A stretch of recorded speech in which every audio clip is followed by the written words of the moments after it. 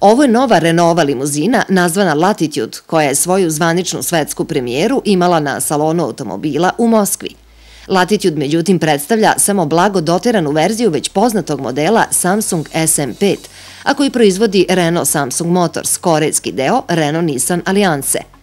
Latitude se najavljuje kao kvalitetan, bezbedan i prostran porodični automobil čije dimenzije izgledaju ovako – dužina 4887 mm, širina 1832 visina 1483 mm i međuosovinsko rastojanje 2760 mm. Zapremina prtljažnika je inače 477 litara.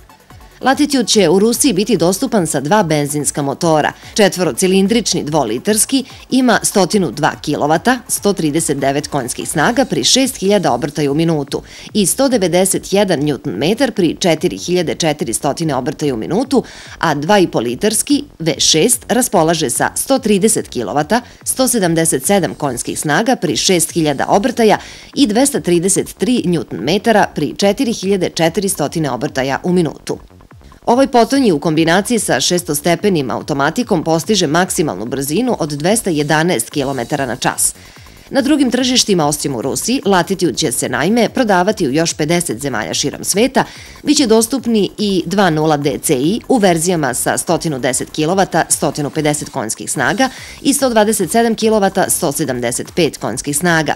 I V6 DCI 177 kW, 240 konjskih snaga, dizelaši kao i 3,5 V6 benzinac koji razvija 177 kW, 240 konjskih snaga. Cene u Rusiji startuju od 835.000 rubalja, oko 21.325 evra, za bazni model sa dvolitarskim benzincem, a u njegovoj opremi se između ostalog nalazi i šest vazdušnih jastuka, ABS, klima uređaj, grejanje prednjih sedišta i alu točkovi od 16 inča.